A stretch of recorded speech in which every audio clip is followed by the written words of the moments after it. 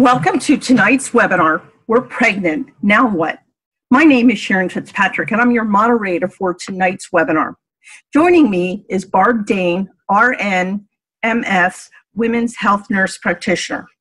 We have a full agenda for tonight, so let's get started. Barb, I'll turn it over to you. Thanks so much, Sharon. Hi, everyone. I'm Nurse Barb. I'm a women's health nurse practitioner here in the heart of Silicon Valley. I care for women who deliver their babies at El Camino Hospital, and I've been asked to share with you what I tell my patients when we talk about what they need to know when both planning for a pregnancy and when they're pregnant. So tonight's webinar is called Congratulations, We're Pregnant. Now what? I bet you have a lot of questions if you're pregnant. Now, before we get started, there's a few housekeeping details we need to take care of. So if you haven't already downloaded the personal health assessment, you can do so by clicking on the link in the uh, chat box of the control panel. We also recommend that you download the resource guide with lots of helpful local healthcare resources. And there's a link for that in the chat box as well. Be sure to take notes throughout tonight's session. And we will have time at the end for some questions, but as they come up, please go ahead and type them into the chat box. We'll get to as many as we can toward the end. And at the end of this webinar, you'll be sent an email with a link to the two, uh, to the three previous webinars, the resource guide, as well as other very valuable tools. Today's presentation was developed by a team of experts here at El Camino Hospital, including myself. Um, so now what I'd like to do is tell you a little bit about webinars one, two, and three. So if you missed our first webinar, I'm encouraging you to go back and um, take a look at it. And it's called Thinking About Getting Pregnant, What You and Your Partner Need to Know. And in that webinar, we covered how you envision your future as parents, how to improve communication as a couple, your medical and family history, vaccinations and travel, and some sleep issues and mental health. And in webinar number two, we covered nutrition, how to actually get pregnant, how to predict ovulation, how to improve fertility, men's health issues and their fertility, and when to see a specialist. In our last webinar, number three, we covered um, a lot of the prenatal testing questions that people have. We talked about when sex might be painful or sex might be impossible. We also talked uh, about same-sex couples, how to improve communication again, because that's so important, and testing for genetic conditions, as well as some of the new testing options uh, that you may be familiar with. We're having a baby. Uh, your congratulations. I mean, welcome to one of the most incredible journeys of your life. Pregnancy is a time when your body will change in ways that may be difficult to imagine right now. You may feel overjoyed, worried, elated, and overwhelmed all at the same time. Whether you're newly pregnant or closer to delivery, it's normal and natural to have thousands of questions and as your pregnancy progresses, some or more of what a couple may be experiencing may be a happy surprise, a little shocking, or a little of both. In any case, this webinar has been developed to help you get the information that you need.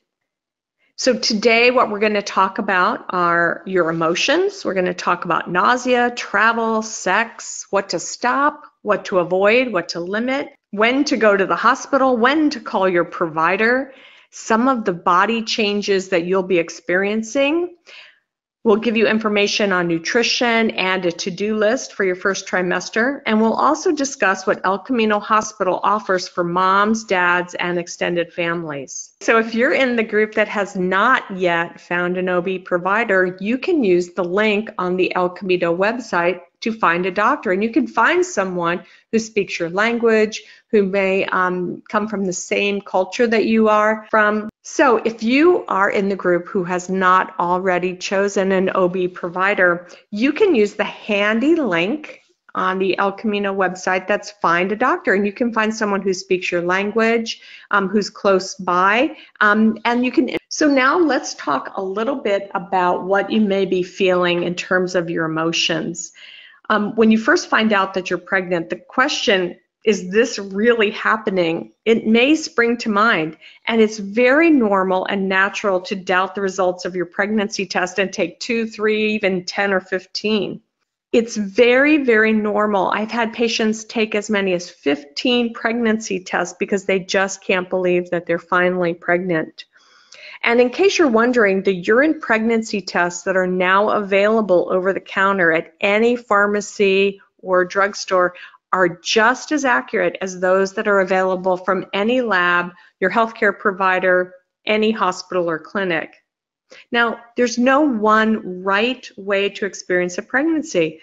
You may feel elated and delighted by the news, enjoying every single aspect as your body changes and grows and your baby grows and changes and as your delivery approaches.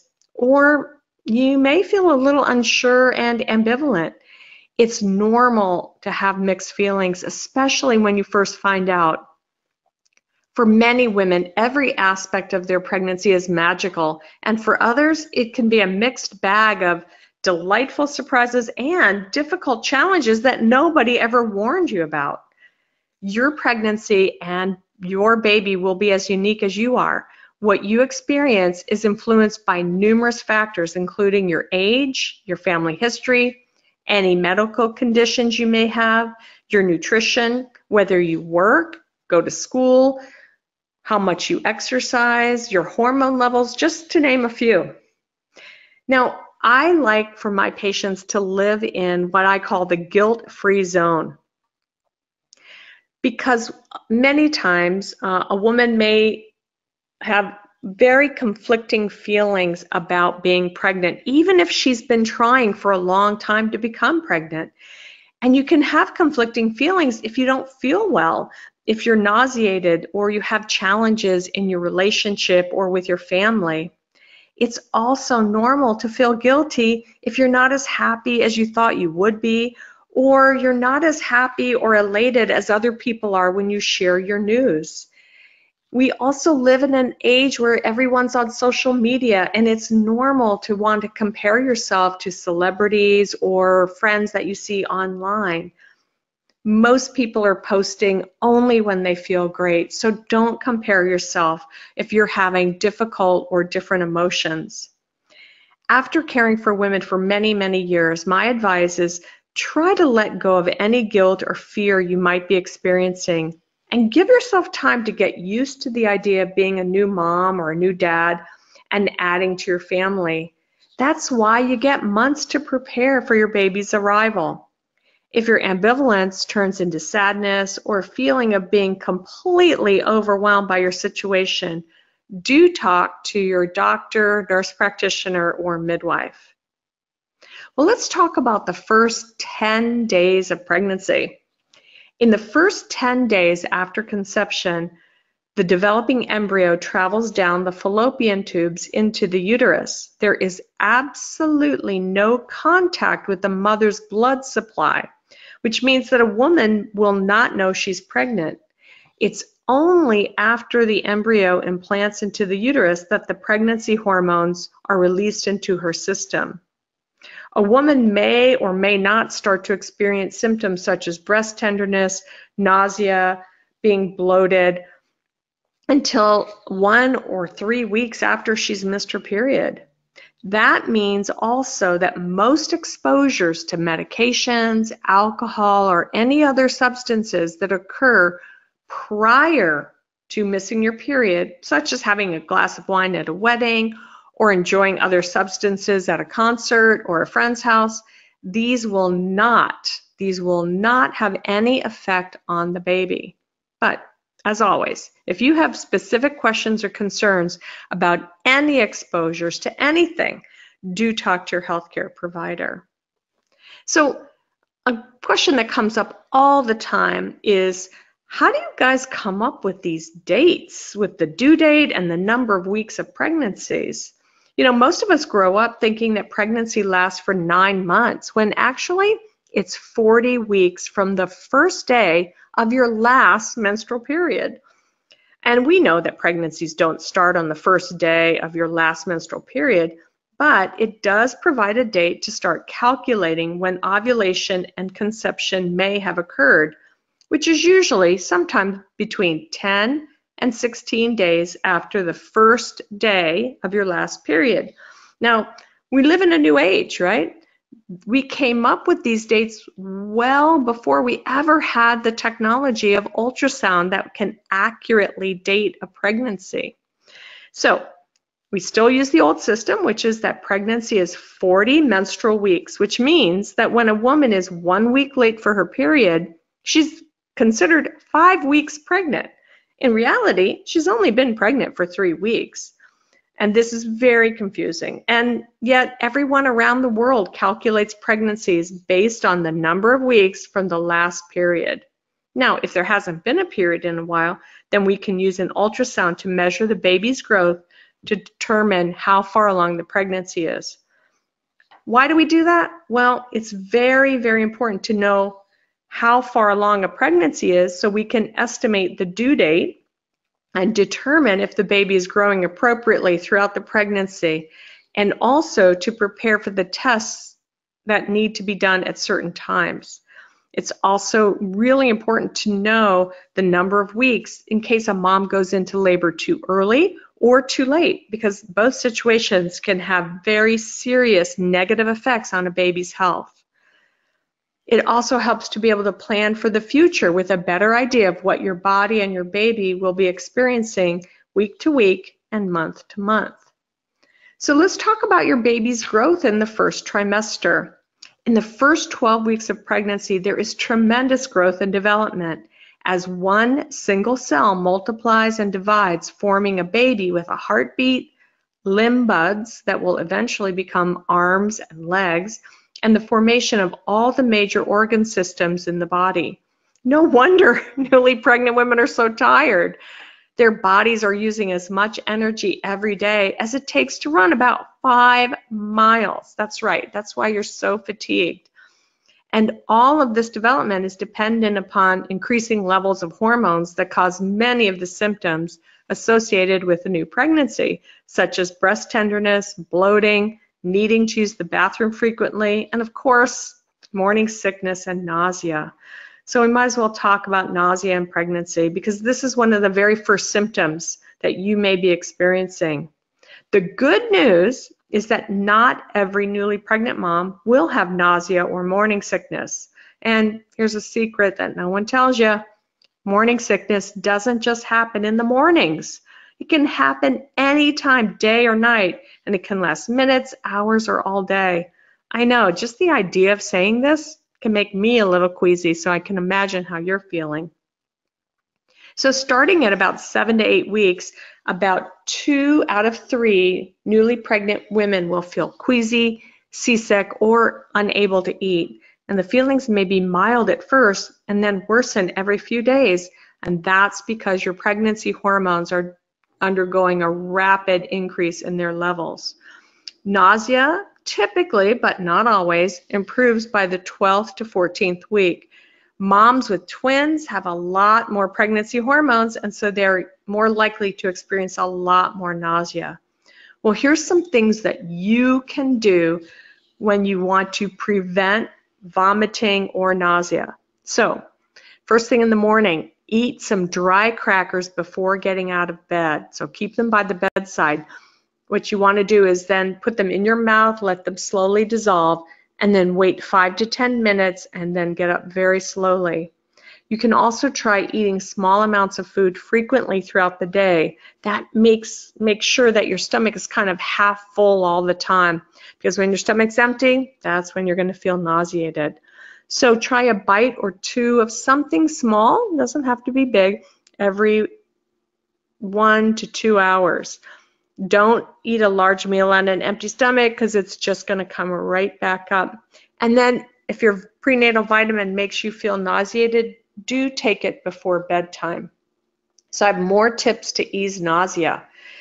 Um, I had a lot of morning sickness in my pregnancy, so oh my gosh, I know how difficult it is to function. But here's some tried and true things you can do to feel better. You can use ginger, ginger cookies, ginger ale, ginger tablets, ginger, ginger, ginger. Um, you can do an old scuba diving trick and put the ginger between your uh, lip and your gum. That way you don't have to swallow it.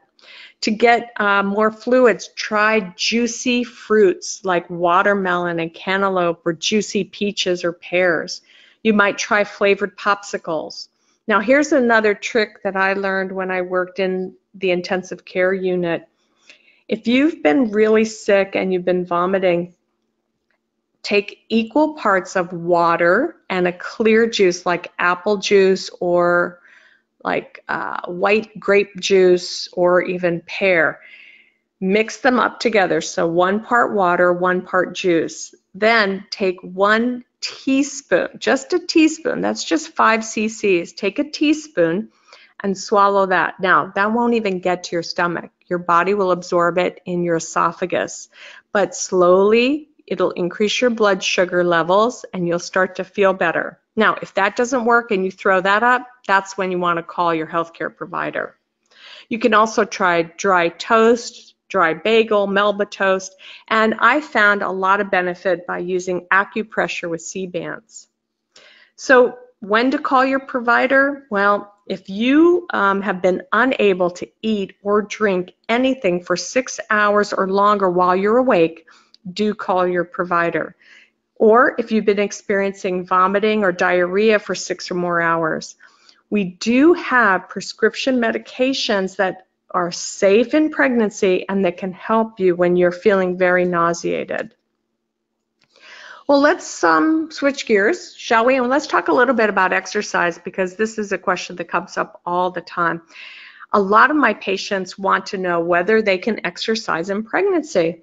And it's a good question because in many parts of the world, when a woman becomes pregnant, she's advised not to move. She's advised to lie down for most of the day and not exercise and not move because of fears of harming the baby. Well, I can understand that. This is very well intentioned advice.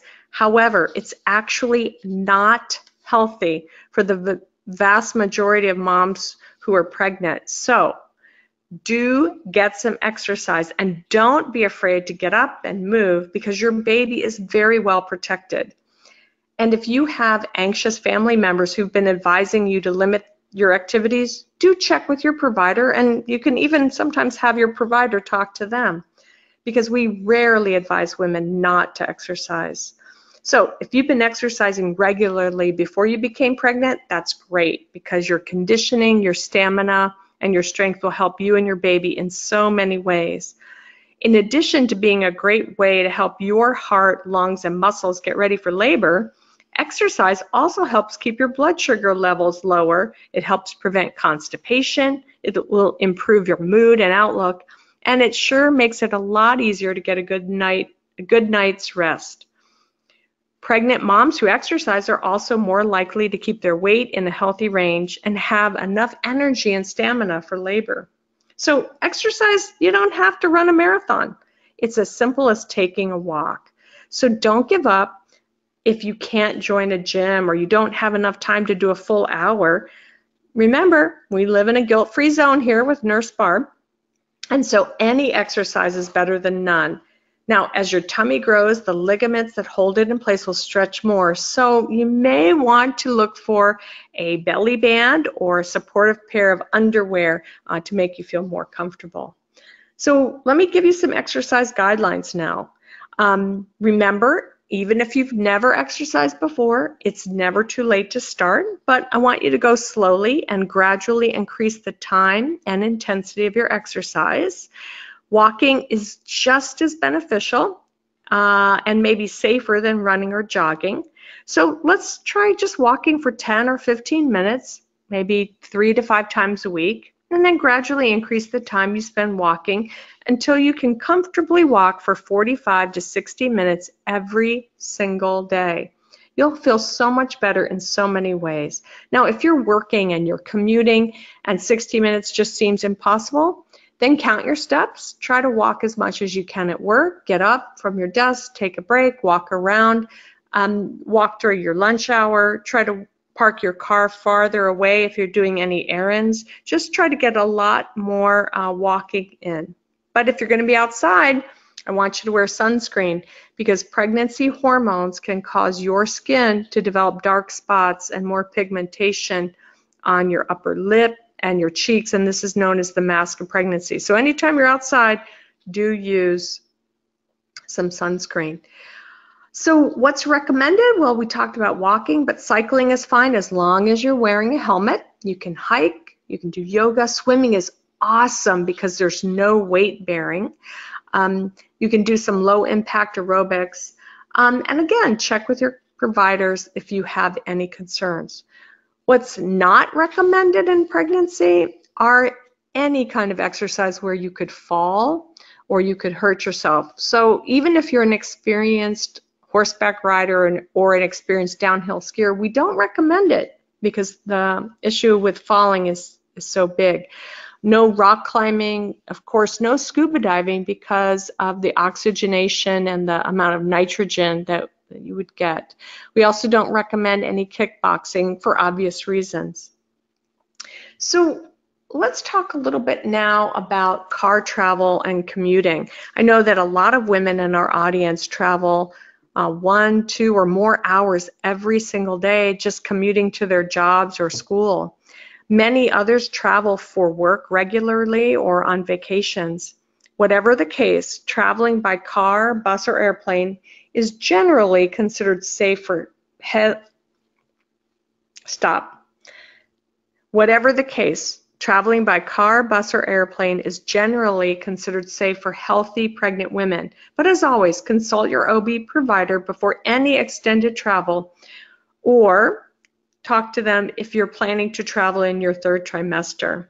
Now, if you're going to be sitting for an extended period of time, it's best to take breaks every one to two hours by getting up and walking around.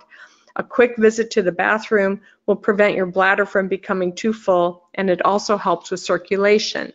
If you're flying on an airplane, it's important to flex your toes up to your knees and then point them away regularly. That helps prevent uh, blood clots at any time when you're traveling, but especially when you're pregnant. So airline travel um, can be kind of stressful if you're traveling for work or you're trying to visit a family that lives far away. Um, do get some guidance from your OB providers if you're traveling regularly for work. But I've got a lot of tips for you because I, I log a lot of miles out of um, SFO. So make sure you have everything you need in your carry-on bag in case your luggage gets lost or delayed. That means packing extra snacks and extra water.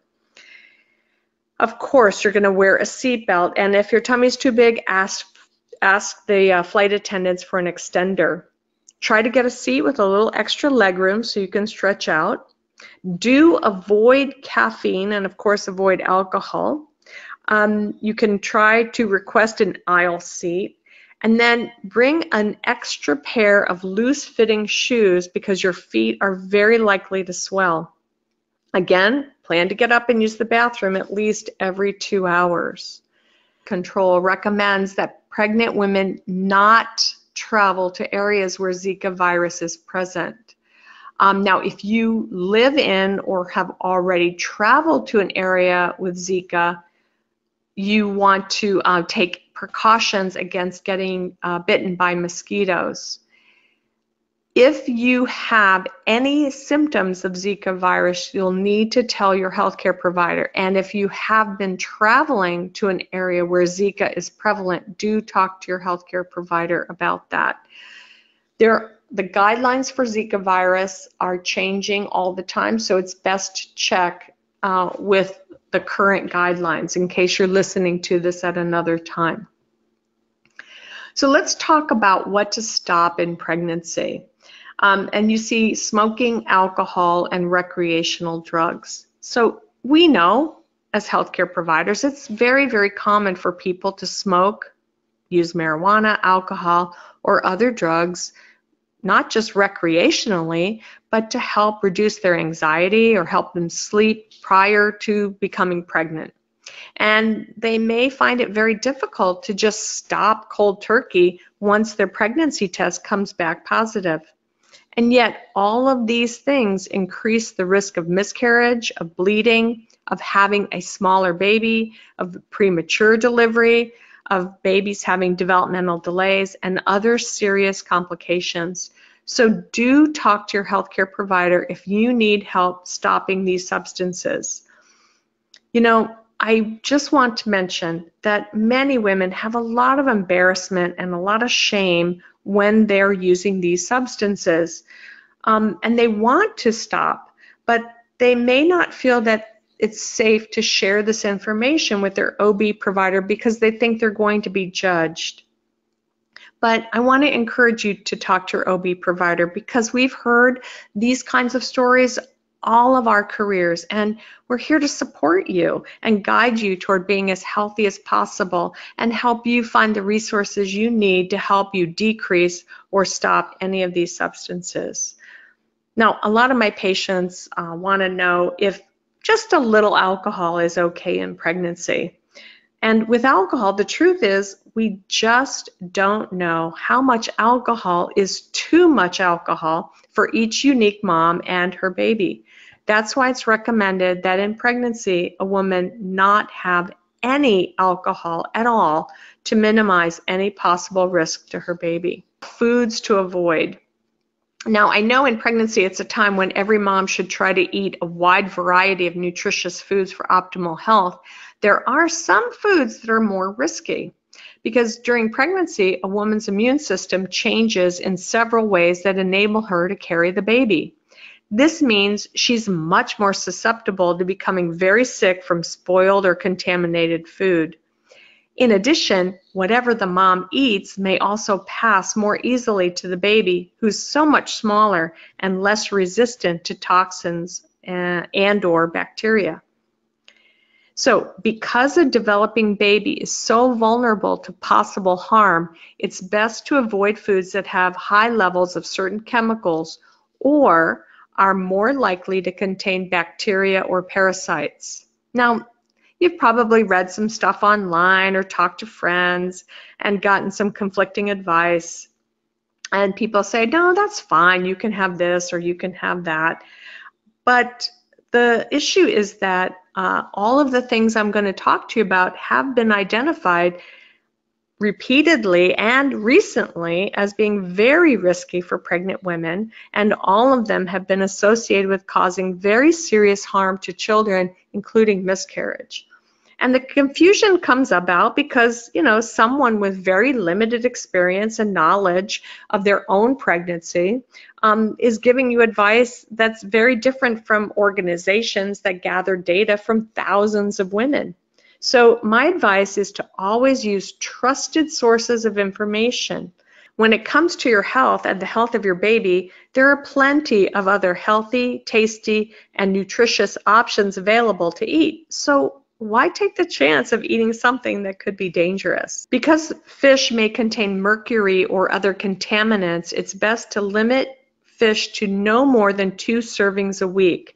And for more information, I recommend seafoodwatch.org on what seafood is safe. And if you're if you're a seafood lover like me, you can also check with the Environmental Protection Agency at EPA.org. Now, there are some foods that are a lot more likely to contain bacteria or parasites, and those include unpasteurized juice, raw meat, raw fish, and raw shellfish. Now, if shellfish is cooked properly, it's not considered harmful.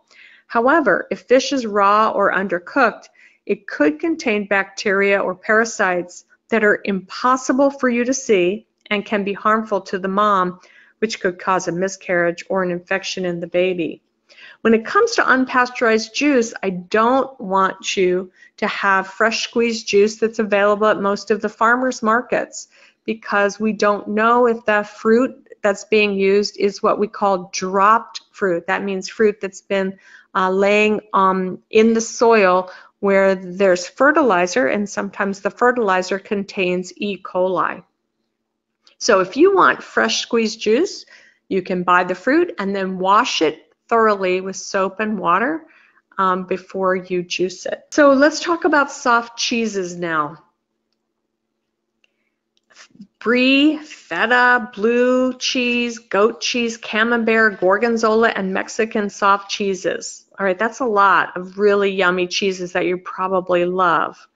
Now, even, even if the label states that it was made from pasteurized milk, these types of cheese have all been shown to contain a dangerous bacteria known as listeria, which has been associated with miscarriage and it's also been associated with children having issues so even if the label states that it was made from pasteurized milk, these are all soft cheeses, which means that they can harbor or have a dangerous bacteria in them called listeria. This has been associated with miscarriage. Now, it's also recommended that pregnant moms not have some deli meats like salami and liverwurst because these are cured, they're not cooked. The slicers at the deli counter may also have dangerous bacteria. But if you're craving a deli sandwich, ask for it to be heated thoroughly or look for something cooked like a hamburger. And make sure any hot dogs you eat are also well cooked. What about herbs to avoid? Now, I'm Italian, so I cook with a lot of herbs like basil, parsley, cumin, coriander, and many, many more. However, there are many herbs that can be harmful to the baby or even start labor. So please check with your OB healthcare provider for more guidance if you have questions. But this is a partial list of herbs that should be avoided in pregnancy, especially black and blue cohosh, cascara, mandrake, tansy, mugwort, yarrow, uh, and senna. This is just a few of them. If you see an herbalist or you buy traditional Chinese herbs, I want to caution you to be very, very careful because there's a longer list of herbs that can be dangerous in pregnancy. Now, a lot of my patients have grown up hearing about hot foods and cold foods or sour foods that can lead to miscarriage, including eggplant, papaya, sesame seeds, and others. I want to reassure you that consuming small amounts of these foods is considered safe in pregnancy, but you may have family members who are not going to be convinced. Remember, a lot of these traditions started before refrigeration, and it's very possible that those foods were ones that spoiled uh, rapidly in the past. So it's understandable that people would want you not to have them, but those foods are considered safe. What about medications to avoid? There are many safe over-the-counter medications that pregnant women can safely use. However, it's important to avoid aspirin and non-aspirin pain medications that contain ibuprofen or naproxen. These are known as NSAIDs or non-steroidal anti-inflammatory medications and they should be avoided. These can cause bleeding or complications for the baby. Now, sometimes women with certain autoimmune issues or high blood pressure will be advised to go ahead and take a baby aspirin every day but this is not something that every pregnant woman should do on their own. If there's some pain, then Tylenol, which is also known as acetaminophen, is generally considered safe. Some other things to avoid are cats, cat litter, and soil. Now, I know you love your cats. I like cats too. But even if they're indoor cats, their poop or their feces can contain toxoplasmosis, which is a very harmful parasite. You can pet with your cat, you can play with them, but changing the cat litter is off limits for you. This parasite, toxoplasmosis, is airborne. So do not change cat litter while you're pregnant. And if you can, put your cat litter box into a room where you can close the door. Toxoplasmosis can also be found in soil. So if you're going to do any gardening, I want you to wear rubber or leather gloves. Um, it's also found in undercooked beef or pork. So again, make sure beef and pork are well cooked. In pregnancy, it's also important to avoid using hot tubs and saunas because this can raise your core internal body temperature way, way too high, which can be dangerous for the baby. As moms, we regulate our temperature by sweating, but your baby is surrounded by warm amniotic fluid. So you can take a nice warm bath, um, but if you're sweating, it's too hot and you'll want to cool off. Now, speaking of temperature, if you do have a high fever, that is one over 100 degrees Fahrenheit, then do call your OB healthcare provider for advice. So what should you limit when you're pregnant? Well, Caffeine. Now, I love coffee and I love tea, uh, but these are stimulants, so we'd like you to limit yourself to less than two servings a day. When it comes to artificial sweeteners, uh, not enough is known about their effects, um, but most experts agree that they're probably safe, and many women have been using them for years with no known effects. When it comes to nuts, there's a lot of evidence that you should have nuts unless you yourself are allergic to them. So you don't have to avoid eating peanuts um, because uh, your baby's likelihood of having a peanut allergy develops on their own, not from any prenatal exposure. But of course, as always, if you have any questions about nutrition, do consult with your own OB healthcare provider. So now let's talk about a topic that most couples are very interested in, but maybe a little embarrassed to bring up uh, with their healthcare provider. So every couple I've ever met has questions about sex during pregnancy. And most women and their partners can continue to have sex. It's very normal and natural for both of you to have concerns and questions. And you guys may be having some very conflicting feelings about having sex or the frequency. In general, for healthy pregnant women, sex is safe and it does not harm the baby. It's completely normal to have a lot more interested in sex. It's also normal to have a lot less interest in sex or mixed feelings about it. In pregnancy, there's a lot more blood flow to the pelvic area and hormonal changes can lead to larger, firmer breasts, which may increase your interest and enjoyment. It's also possible that you may experience more powerful orgasms in the first and second trimesters, so watch out for that. It's just as common to have less interest in sex. If your breasts are tender, if you're nauseated, if you're fatigued, maybe you're afraid, may make uh, the idea of sex completely out of the question. And of course, it's normal to have mixed feelings about sex. Open communication is very important for your relationship. If you're not able to talk to your partner in a way that feels comfortable, then do talk to your OB provider for some resources and guidance. So many couples have questions about oral sex. For pregnant moms who are receiving oral sex, it's a nice way to be intimate and have fun. Just one important note about oral sex, and that is Partners should not blow air into the vagina as this can cause a very rare but very serious complication known as an air embolism, which can affect both mom and baby. So when it comes to sex, especially if your breasts are getting larger, you may feel very sexy and very attractive. But it's also normal to feel like your baby's watching you. It's normal to feel unattractive, especially if you're starting to have stretch marks or varicose veins. It's also normal to feel guilty or awkward or uncomfortable and worried.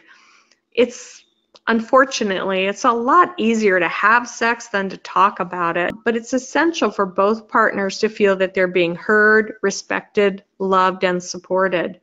And that's not always the easiest thing to do and can be especially challenging when a woman is pregnant.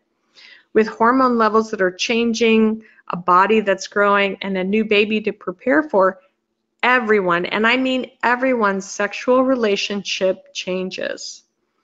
It's normal to wonder if it's safe to masturbate or use a vibrator or be self-sexual in pregnancy.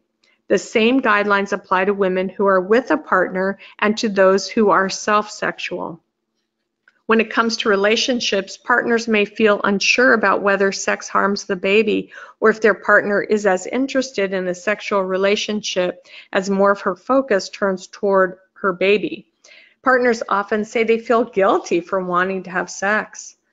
And many times in a relationship, whether the couple is pregnant or not, one person is more interested and comfortable having sex than the other is.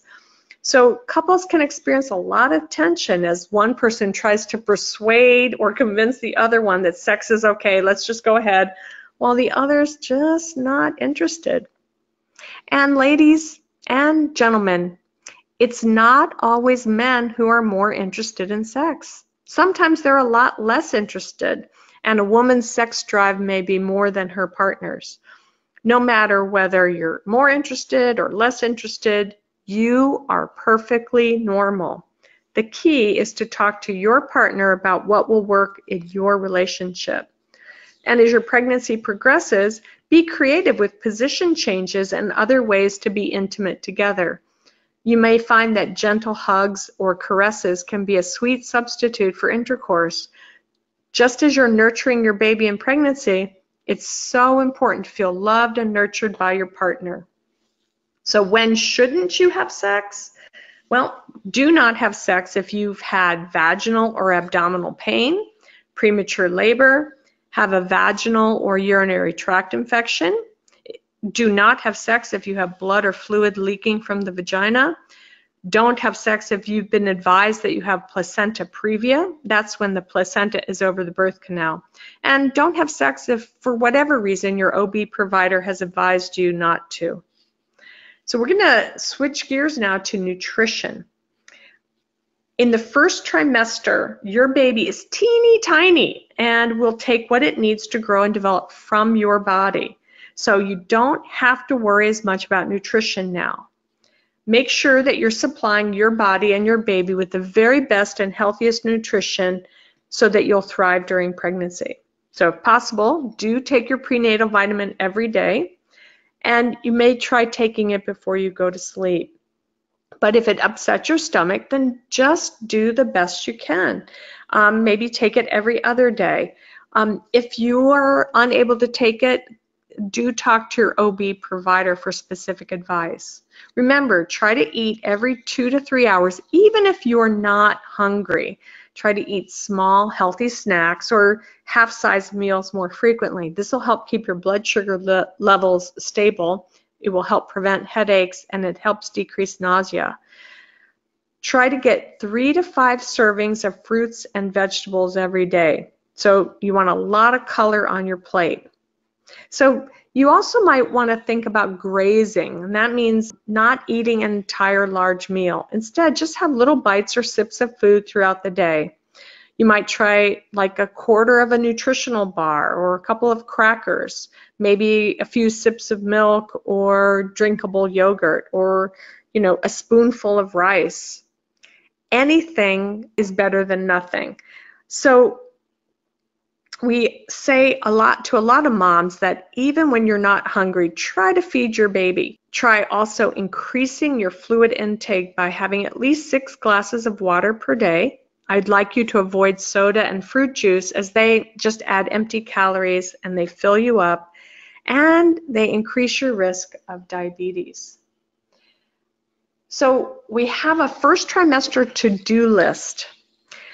This is a list of things that are important for you to do once you find out you're pregnant. That means you want to pick an OB/GYN provider and you can use the uh, Find a Doctor link on the El Camino website. You want to be sure to have your prenatal lab test done. You're going to consider whether to have NIPT and carrier testing. Those are some tests that we talked about in webinar number three. I also advise that you keep a journal, write down your thoughts and feelings because it will change from day to day, week to week, and month to month. And it's really nice to share that with your child when they get a little bit older.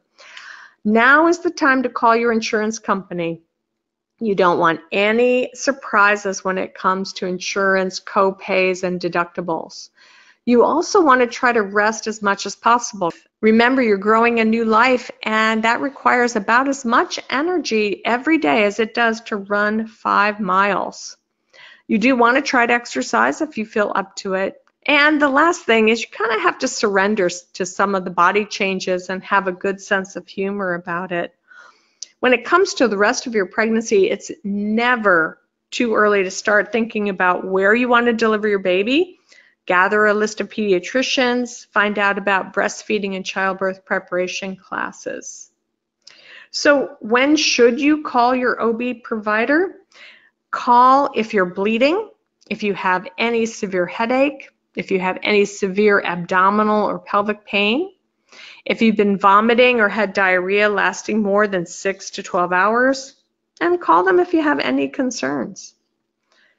Once your first trimester is over, you're going to head into your second trimester. And this can be a real fun time in your pregnancy because nausea improves, your appetite comes back, and you're going to seem to have a lot more energy.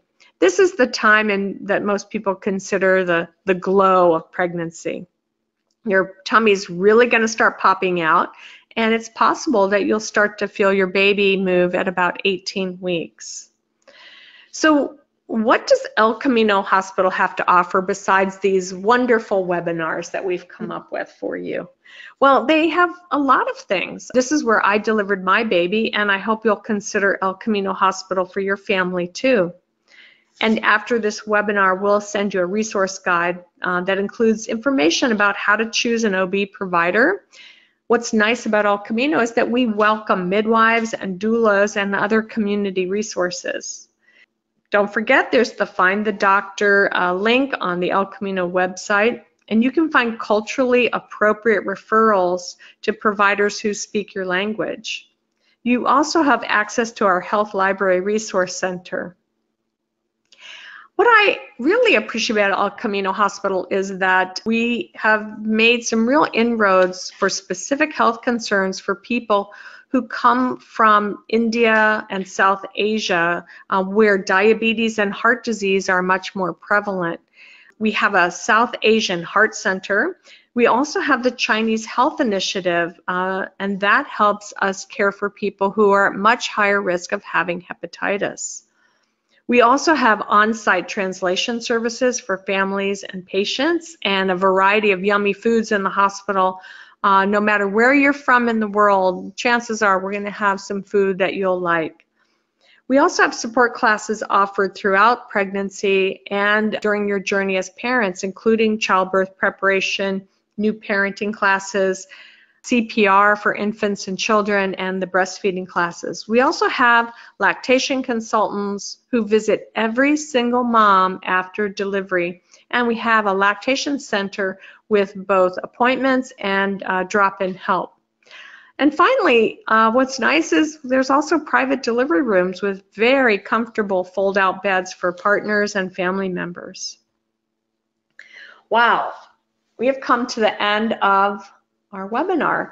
And just to recap, we've covered so much today from your emotions when you first find out you're pregnant to what to do for nausea, travel, exercise, sex, um, and why El Camino Hospital is a great place to have a baby. I hope you found this uh, helpful. After this webinar, you'll be receiving an email with links to this and all the previous webinars, as, also, as well as a link for the resource guide. We're going to also send you an evaluation and please fill that out because it really helps us design our next set of webinars for the future. So I want to thank you again for joining. And now I think it's time to answer some questions. Sounds like a plan. So Barb, we have a question. Do I need to see a doctor to get an ultrasound? Yes, it's uh, important for you to see a healthcare provider to get an ultrasound in your first trimester. However, once you've determined that you're pregnant, you can go and get an ultrasound uh, through many other agencies that some will even come to your house and do 3D ultrasound. Wow, that's really improved. Technology really has made a difference. Here's another question. I've never heard of anyone having an issue with sushi. Do I really have to give it up? Well, I'm glad you asked this question because there have been many issues with having sashimi, um, which is uncooked fish. Now, if it's cooked fish, that's fine, but with sashimi, there have been uh, several outbreaks of uh, parasitic infections, and it is associated with an increased risk of miscarriage. So I would recommend against it in pregnancy. I've heard that it's okay to have one glass of wine a few times in pregnancy. Why all the fuss? You know, it's interesting what we hear from other people. The fuss about alcohol and pregnancy is that we just don't know what the amount is for each individual woman. So for some women, it's very, very possible that they can have a glass of wine or two during their pregnancy and have absolutely no effect on their baby. While another woman with a different genetic makeup, that would be devastating for her child. So that's why we make this sort of all-encompassing advice. Do I have to modify my exercise too? So if you're a personal trainer or you're a professional athlete, um, what I would tell you is that you're much more likely to deliver slightly early and a smaller baby if you don't modify your exercise. So if you continue exercising at your same level, you you may run that risk because it just takes so many calories for you to do the work that you do.